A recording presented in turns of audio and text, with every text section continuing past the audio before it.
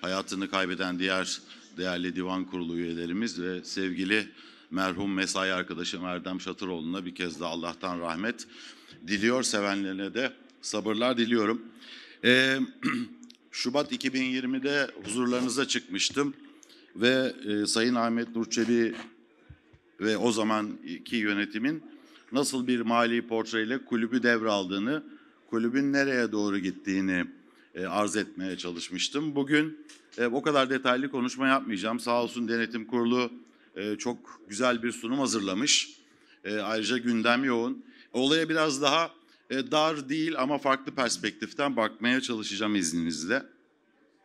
Şimdi Şubat 2020'de e, arz ettiğim zaman cümlelerimin bir tanesi şuydu. Hayatımızda radikal bir değişiklik olmadığı takdirde kulüp şuraya gidiyor demiştim. Maalesef e, herhalde içime doğmuş. Mart 2020'de pandemi patladı. Şimdi pandemi hepimizi etkiledi ama bence e, meslektaşlarım da aynı şeyi tahmin ediyorum söyleyecektir. E, en çok olumsuz etkilediği sektörlerden bir tanesi futbol sektörüydü. Sadece Beşiktaş değil, Fenerbahçe değil, Türk futbolu değil. Bütün Avrupa, dünya futbolunu çok olumsuz etkiledi. Olaya biraz bu perspektiften bakıp Beşiktaş'a geçmek isteyeceğim. Şimdi öyle ya da böyle Türkiye futbolu Avrupa futbolu içerisindeki önemli aktörlerden bir tanesi. Dönem dönem kendimize kızıyoruz ama buna karşılık hala Avrupa'da 55 tane UEFA'ya tabi ülke vardır. Türkiye 7. büyük futbol ekonomisi 2021 yılı sonu itibariyle 500 milyon euro üzerinde bir gelir üretiyor. Ekranı bu değiştirmiyor galiba arkadaşlar. Evet. Buna karşılık maalesef Türk futbolu karlılık anlamında verimsiz bir dönemde. Şimdi bu tablonun dikey bölümüne bakarsanız bu finansman gideri öncesinde ne kadar kar elde ettiğinizi göstermeye çalışan bir tablo. Gördüğünüz gibi Türkiye pek güzel değil Türk futbolu.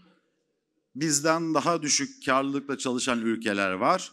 Ama tablonun alt bölümünü yani finansman giderlerini dikkate alırsak Türk futbolu 2011-2021 yılı arası bu UEFA Financial Fair Play hayatımıza geçtiği dönemdir. Maalesef karlılık olarak iyi yönetilememiş ve bunun sancılarını hala çekmekte olan bir yapı. Şimdi evet. Bunun sonucu belki bunu etkileyen tavuk yumurta misali maalesef Türkiye futbolu Avrupa futbolu içerisinde ortalama en yaşlı kadroları da hali hazırda oynatmakta olan bir yapı. Zaten malumunuz isim isim kulüp kulüp saymaya gerek yok. Bizim Türk futbol olarak yapmamız gereken şey e, yaş ortalamasını aşağıya çekip altyapıya daha çok önem verip maliyetleri de aşağı çekecek bir yapı tesis etmemiz. Şimdi Avrupa futboluna bakıyorum. 2011 yılında Avrupa futbolu bir bütün olarak öz kaynakları pozitif bir yapıdaymış. Yani zarar eden ülke var, kar eden ülke var, zarar eden takım var, kar eden takım var. Varsa da bir açık, bunu sermaye eklemek yoluyla hep bir artı öz kaynak düzenine, net öz kaynağa sahip olmuş. Dikkat ederseniz 2011 yılında öz kaynakları pozitif olan Avrupa futbolu, içinde Türkiye'de var bir, top, bir, bir parçası olarak, 2021 yılında pandeminin yaratmış olduğu yaklaşık yüzde 25'lik erozyona rağmen başladığı noktanın iki katı kadar öz kaynakları var. Yani koyduğu sermaye artı ya da eksi o dönemki kar ya da zararı. Biz neredeyiz? Biz Türkiye futbolu olarak 2020-21 sonu itibariyle öz kaynaklarımız eksi 700 milyon euro. Yani biz hep zarar etmişiz. Zararı da sermaye ile desteklememişiz.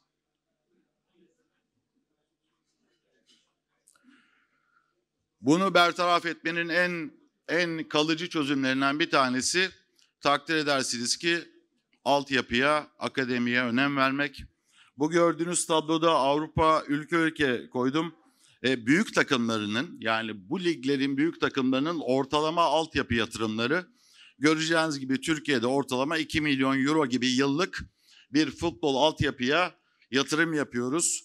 E, bence bu yetersiz ama sanıyorum Sayın Başkanımız e, bu konuda atmış olduğumuz, atmak üzere olduğumuz bazı olumlu haberleri sizle birazdan paylaşacaktır.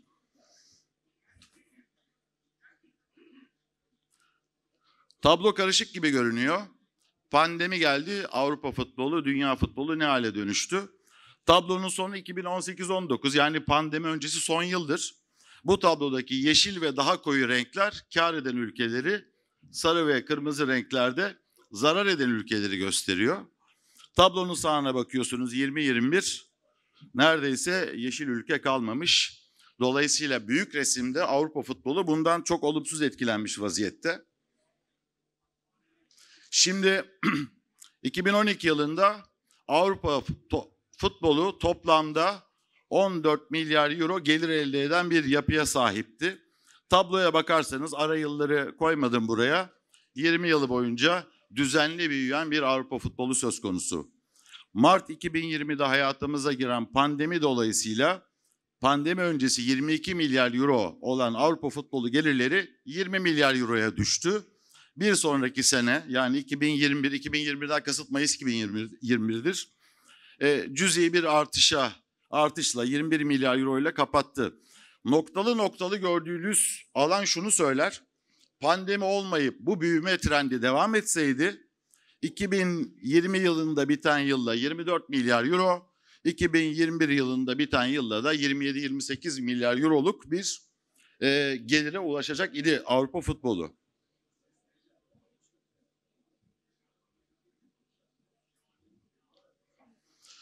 Bu kayıp yaklaşık tam hesaplamak mümkün değil ama e, UEFA yetkilileri, Avrupa Kulüpler Birliği ile yaptığımız ortak çalışmalarda da görüntü pandeminin Avrupa futboluna yaklaşık 7 milyar euroluk bir maliyet yüklemiş olduğu. Bunun önemli kısmı stadyum gelirlerinden geliyor. Onun yarısına yakın bir tutarı da sponsorluk ve ticari gelirlerden son olarak da bizim de çok ciddi bir şekilde yaşadığımız gibi revize eden, edilen yayın haklarından geliyor. Yani toplam 7 milyar euroluk bir kayıp görüyoruz. Pardon buraya geri döneyim. Bu bizim çok canımızı acıtan bir konudur. Pandemi döneminde düşmeyen tek şey futbolcu ücretleri. Bu dediğimi şöyle açıklayayım. Pandemi patladığı zaman biz UEFA ile FIFA ile görüştük. Ben görüştüm. Diğer kulüp yetkilileri görüştük. Kulüpler Birliği olarak görüştük. Federasyon olarak görüştük. Dedik ki pandemiden dolayı bizde çok ciddi bir gelir kaybı var. Bunu futbolcularla ortaklaşa hakkaniyetli bir şekilde paylaşalım. FIFA dedi ki pandemi bir force majör, mücbir sebep değildir. Ben bir konuşmamda kendilerine söylemiştim. Gezegenlerin mi çarpışması lazım mücbir sebep olması için? Dolayısıyla bize e, kabul etmemeyi bırakın UEFA gelirlerimizden kendi düşen gelirleri dolayısıyla yüzde on beşlik bir tenkisat yaptı. Daha az ödedi ama bizim futbolculara yüzde yüz ödememizin talimatını verdi ve biz ödedik. Dolayısıyla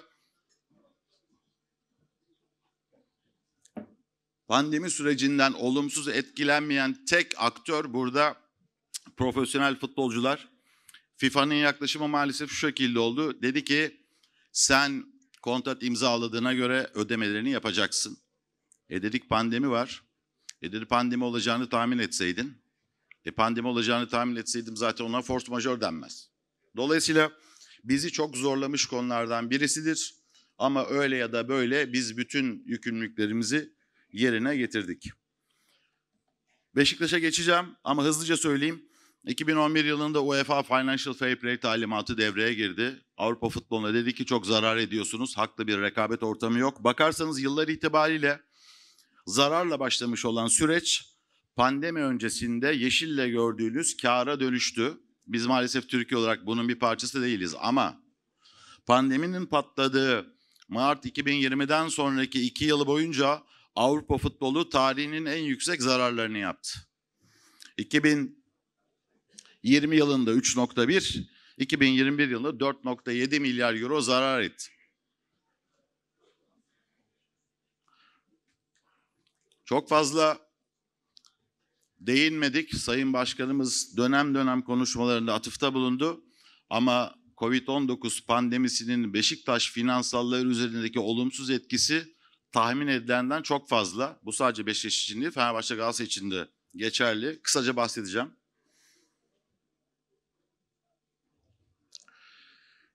Şimdi ben Şubat 2020'de huzurunuza çıktığım zaman 1 Ekim 21 Ekim 2019'dan daha sonraki bir mali portreyi öngörmeye çalışmıştım. Dolayısıyla izninizle kaldığım yerden devam edeceğim. Ekim 2019 ile Aralık 2019 arasındaki iki aylık süreyi hesaplamadım. Büyük resmi değiştirmez. Sevgili denetim kurulu üyeleri de zaten bu rakamları farklı bir perspektiften teyit ettiler. Kesinleşmemiş mali tablolardır. 1 Ocak 2020'den futbol için Ağustos 2022'ye, dernek için 30 Eylül'e kadar geçen bu yaklaşık 3 yıllık periyotta Beşiktaş Kulübü 2.6 milyar TL gelir, 2.9 milyar TL finansman ve vergi öncesi gider üretmiştir. Dolayısıyla toplam performans ya da faaliyet zararı takriben 300 milyon TL zarar etmiştir. Altını çizeyim. Şimdi zarar etti ama ben bu zararın gerekçesini ana hatları itibariyle pandemiye bağlamak zorundayım. Açayım. Yayın haklarındaki revize sözleşme hariç pandeminin Beşiktaş kulübüne direkt yükü 30 milyon euro civarında hesaplıyoruz. Derseniz ki ya sen bunu nasıl, hesaplıyorsun? Belki de 20 de sen 30 diyorsun. Aslında çok çok zor değil. Bizim pandemi öncesindeki finansallarımız kapta duruyor. Tribün gelirleri, sponsorluk gelirleri, stadyum gelirleri, kartal yuvası gelirleri. Stat kapalı. Tribün geliriniz yok. Stat kapalı, yiyecek geliriniz yok. Kartal yuvası mağazaları kapalı. İnternetten sipariş vereceksiniz. E, pandemide evde oturuyorsunuz, yarınınızı göremiyorsunuz. Dolayısıyla rakamlara baktığımız zaman yayın gelirleri hariç 30 milyon eurodan az olmayan bir kayıp söz konusu. Şimdi toplam döviz kuru Ekim 2019'a baktım. Dolar 5.70, Euro 6, 6.4. Ortalamasını 6 alalım. Geldiğimiz nokta malumunuz kur 3 katına çıktı. Şimdi e, bazen bana soran arkadaşlar oluyor ya bizim UEFA kupası gelirimiz yok mu? Var. Tribün e, stat isim hakkı dolar değil mi? Dolar. Göğüs sponsorumuz euro değil mi? Euro. Tamam da net net baktığınız zaman maalesef kulübün finansallarında euro pozisyonu eksidir. Şu anda iyice azaldı ama finansal tablolara bakarsanız 60 milyon eurolardan bugün itibariyle 15-20 milyon eurolara kadar geriledik. Niye? En basitten yayın hakları ilk çıktığı zaman 500 milyon dolardı. Bugün 120 milyon dolar muadili TL. Yani döviz aleyhimize özellikle pandemi döneminde denge bozuldu. Bugün toparlamaya uğraştık ama ben şöyle baktım. Daha önceki dönemlerde enflasyon %10 iken kur yaklaşık %10 artsaydı pandemiden bu tarafa veya %20 artsaydı şu kadar artacağına bize ne kadar daha olumlu bir etkisi olurdu ya da bu kadar olumsuz etki taşımazdık. Ben 150 milyon TL civarında ya da bugünkü kurlarla 7-8 milyon euro bu kur artışından olumsuz etkilendiğimizi hesaplıyorum. Şimdi Kasım 2019, Ekim 2019 dedim. Kasım 2019'da bir düzenleme geldi. Ee, biz kamuyla şunu konuşuyorduk. Biz bizim bir desteğe ihtiyacımız var. Maddi olarak işte vergilerimizi vadeye yayalım. Banka kredisi yapalım. Ee, futbolcu ücretlerindeki stopaj %15'ten %40'a çıktı. Yani bizim talebimiz daha başka bir şekilde karşılandı. Ee, ben örnek olsun diye yazdım. 35 milyon euro net ücretli bir takım kurarsanız eski vergi sisteminde 6 milyon euro stopaj ödüyordunuz. Bugün 23 milyon euro ödüyorsunuz. Tabii bizim kadroyu sil baştan yapmadık. Dolayısıyla kanun çıktığı bu tarihten sonra bünyemize katılan arkadaşlarımız %40 vergiye tabi, öncekiler %15. Bunu hesapladığımız zaman Ocak'tan Ocak 2020'den Mayıs 2022'ye kadar ki ek vergi yükü 22 milyon euro.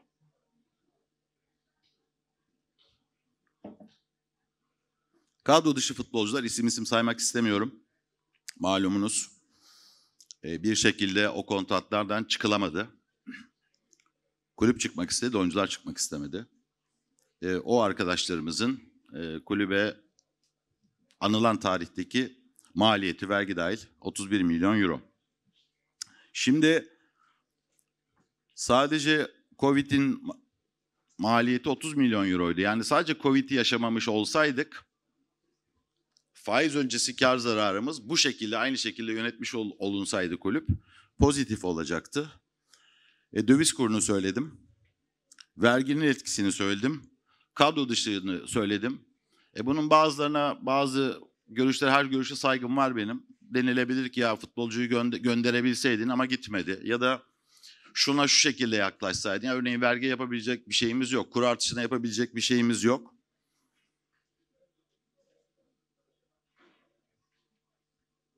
Yayın hakları için iki kelime söyleyeyim. Özellikle Anadolu kulüplerinin bütün varlık dayanağı yayın hakları, ana hatları itibariyle biz üç büyükler için söyleyeyim. Bizim için kritik ama bir Anadolu kulübü kadar kritik değil. Çünkü malumunuz daha büyük camialar, türbin gelirleri daha fazla, sponsorluk gelirleri çok daha fazla. Pandemi öncesi birkaç yıla gittim. Biz 33, 34, 35, 36 milyon dolar yılda Dijitürk'ten yayın geliri alıyorduk. Bu 500 milyon dolarlık ihale ve öncesinden başlayan süreç. Bu indi indi indi indi 250'ye 350'ye indi 250'ye indi yarısı TL'ydi yarısı dolardı dolar TL'ye çevrildi çevrildi çevrildi içinde bulunduğumuz geçen sene 14 milyon dolar aldık. E, akılları şu soru gelebilir ya geçen sene 14 milyon dolar aldım da 6. oldum. E, bu sene de aynı performansı gösterelim 6. olalım alacağımız para 7 milyon dolar yarı yarıya indi. Bu sene Allah'ın izniyle şampiyon olursak yayın haklarından alacağımız para 10 milyon doları tutmuyor. Yani 32-33 milyon ortalamalardan geldiğimiz nokta 10 milyon dolar. Bunun e, her platformda savaşını veriyoruz. Burada e, direkt adreslenecek bir konu yok. Burada herkes bu işin bence sorumlusu. Korsan yayının önüne geçmek lazım, ihaleleri daha yapmak lazım. Konu uzun ama bu yayın haklarının bize 3 yıllık kaybı nereden bakarsanız bize Fener'e Galatasaray aynı şey 30 milyon dolar.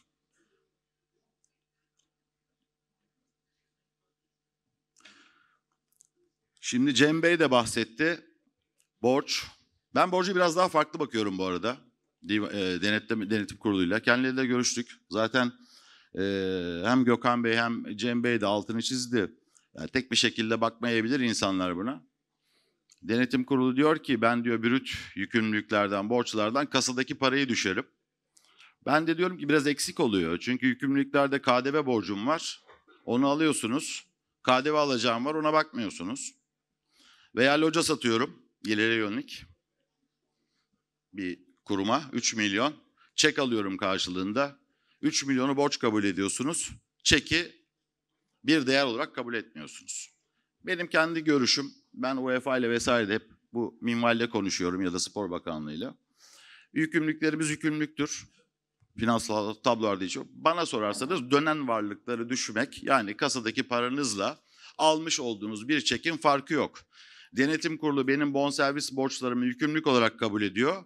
Bonservis alacaklarıma bakmıyor. Bakış açısıdır. Ben öbür türlü bakıyorum. Benim bakış açımın büyük resmi daha doğru gösterdiğini düşünüyorum ama denetim kuruluna da saygı saygılarımı sunuyorum. Şimdi enflasyonun güzellenebilecek hiçbir tarafı yok. Benim de belimi büküyor, çalışma arkadaşlarımın da, dostlarımın da. Ama öyle ya da böyle borç stoğunu eriten bir şey. Şimdi tablolar görünüyor herhalde. E, TÜİK'in rakamlarını aldım. Üfe tüfe bölü 2. Enflasyonun geldiği yer yüzde 112. Bizim kredi faizlerimiz TLRF artı marjdır. TLRF Borsa İstanbul'un açıkladığı TL referans faizi. Dikkat ederseniz tabloya kredi faizleri %15 ile başladı. Geldiğimiz noktada %12'deyiz. 15-12 çok önemli değil. Yani biz bankaya %10-12 faiz ödüyoruz. Bir de ciddi kamusal borcumuz var. Bunu yapılandırıyoruz. Tecil dediğimiz şey. Bu tecil de yeni artmış hali %24. Daha önce daha düşüktü. Dolayısıyla bizim toplam borcumuz 3 küsür milyar banka, 1 milyara yakında kamu borcunu biz %12-24 bandı arasında esas büyük olan kredi %12 ile nemalandırıyoruz. Yalnız ana para eriyor. Enflasyondan dolayı.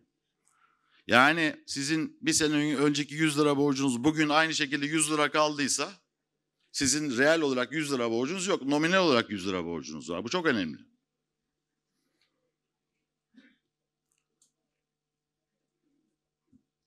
Ben dedim ki bunu daha iyi acaba nasıl ifade edebilirim? Slide'ı bir ileri alabilir miyiz? Heh. Dedim tarihlere sadık kalayım. Ekim 2019 devir borçtan başladım. 2.7 milyar TL. E dedim ben bunu bir TÜİK'in, Türkiye İstatistik Kurumu'nun tüketici enflasyonuyla bugüne getirsem ne olurdu? 6 küsür.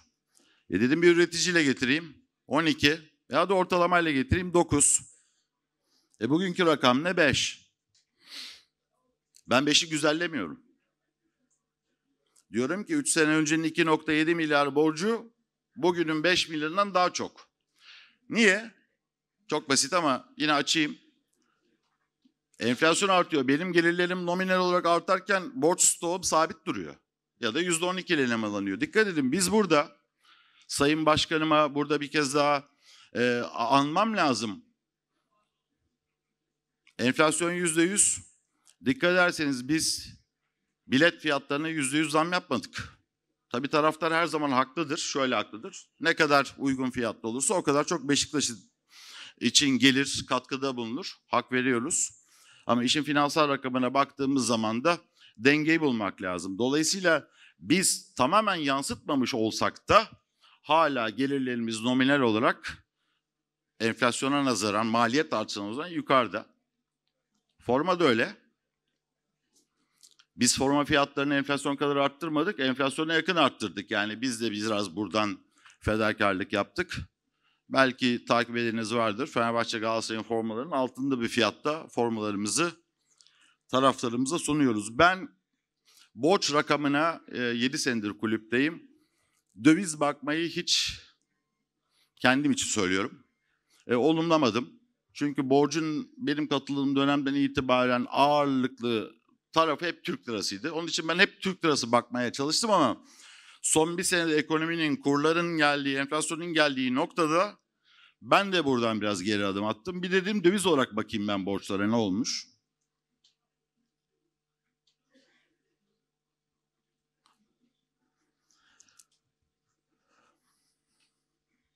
Okuyamıyorum ama e, Euro 400 küsürden önüme basmamışım kusura bakmayın 280'e düşmüş. Dolar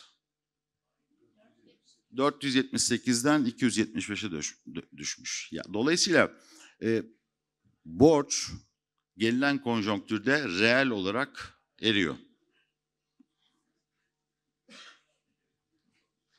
Arkadaşlar slaydı değiştirebilir miyiz? Bu çalışmıyor çünkü.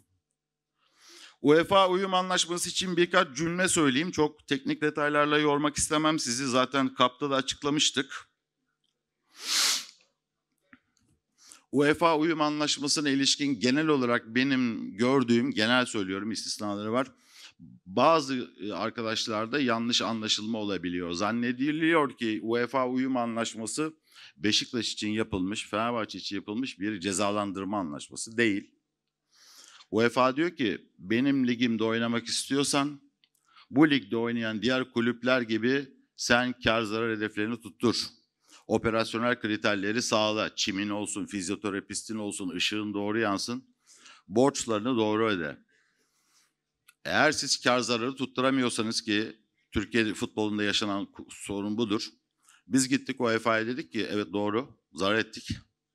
Ama demin size arz etmeye çalıştığım rakamları daha detaylı tahmin edeceğiniz gibi çalıştık. UEFA'ya dedik ki bugün yapamadık bunu ama sakın bize bir yaptırım uygulamayın. Uygulayacağınız yaptırım bizi daha yakından gözetlemek olsun. Denetlemek değil, gözetlemek olsun. Şu anki konu budur. 3 artı 1 yıllık bir geçiş süresi var. Bu geçiş sürecinin sonunda biz UEFA'ya onların kar zarar hedefleriyle uyumlu olacağımızı taahhüt ettik. Basında görüyorum. Beşiktaş UEFA anlaşmasını imza attı. Futbolcu görüşmeleri yapıyor. Satmadan alamaz. Yok öyle bir şey. Ben alır futbolcu azat falan demiyorum. Bizim futbolcu almak için satmamıza gerek yok diyorum. UEFA anlaşmasında böyle bir şey yok. Dolayısıyla UEFA anlaşması daha önce de yapmıştık. Rakiplerimiz de yaptı. Kötü bir şey değildir. Sadece bizim UEFA bizim gelmemiz gereken yere gelmemiz için bizi daha yakından denetliyor. Son olarak spor yasasına bahsedecektim sonra vazgeçtim. Çok teknik bir konu. Dediğim gibi hem vaktinizi almak istemiyorum. Ee, hem de teknik konuda bu teknik konuda benden çok daha yetkin arkadaşlar, hukukçular e, bu konuda gerekli bilgilendirmeyi dönem dönem e, yapıyorlar ve yapacaklardır ama baktığımız zaman bu amatör şubeler 2020'de de söylemiştim. E, ben amatör şube maçlarına gidiyorum, seyrediyorum. Çok yani Beşiktaş olarak bizim sosyal bir misyonumuz. Ama ne yaparsak yapalım kolay kolay başa baş noktasına getirmekte zorlandığımız yapılar. Ee, geçen hafta iki hafta önce yurt dışında bir buz okey maçına gideyim dedim götürdüler. 8 bin kişi kapıdan zor girdik. Millet birbirine omuz atarak giriyor. Full. Bizde maalesef amatörler olan ilgi yurt dışındaki kadar değil. İnşallah onu onu de- değiştirebiliriz. Şimdi 17-18'den başladım. Yani daha önceki sunumumda galiba 10 yıla kadar gitmiştim hatırlayamıyorum ama 13 milyon euro zarar ediyorduk. Azalta azalta azalta azalta 2 milyon euronun altına geldik. 2 milyon euronun altına gelirken iki ayaklıdır. Burada çok ciddi bir gelir artışı var özellikle içinde bulunduğumuz yıl. Ee, sevgili başkanıma ve yönetim kurulu üyelerimize de ayrıca teşekkür ediyorum. Ee, bütün sponsorları, e, potansiyel destekçileri aya, ayaklandırdılar tabiri caizse. Onlar da e, koşa koşa geldiler. Rakam hafızam beni yanıltmıyorsa 110 milyon TL'ye yakın bir gelir üretmiş vaziyetteyiz amatör şubelerde. Çok ciddi bir gelirdir bu. Ama içinde bulunduğumuz özellikle bazı branşlarda işte basketbol, handbol gibi rekabetçi olmak istiyorsanız belirli bir bütçenin altına hiç düşemiyorsunuz. Gelirler bunu desteklemiyor. Şimdi bazen e, ben de duyuyorum sözlerime son vereceğim başınızı arttım kusura bakmayın.